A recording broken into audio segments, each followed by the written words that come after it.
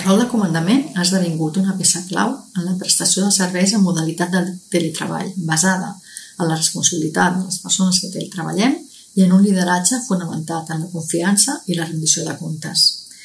En aquest nou paradigma devia d'especial importància la millora en capacitats com la planificació, la fixació d'objectius, les eines de seguiment o el disseny de plans de treball. El pla de treball és aquell document que subscriu la persona teletreballadora amb la seva supervisora en què es formalitzen aspectes com les tasques a realitzar, els períodes de disponibilitat per connexió o interrelació, els objectius a assolir i el que és més rellevant, els mecanismes de seguiment i supervisió.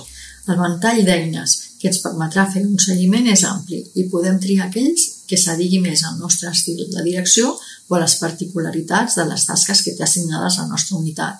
Així, un estil més clàssic funcionarà bé en reunions de coordinació. Per a aquells més sistemàtics, l'eina Planner pot ser un bon recurs. Per a unitats en què bàsicament es gestionen serveis, pot ser necessari dissenyar una taula feta a mida, com per exemple una taula de seguiment d'Excel. Independentment del sistema de seguiment que utilitzem, aquest haurà d'anar acompanyat d'un bon retorn, el feedback. El feedback és fonamental per aprendre i per afavorir el desenvolupament professional de les persones del nostre equip. Reconèixer la feina realitzada és una manera d'afavorir l'adhesió a l'equip i el seu compromís amb la tasca.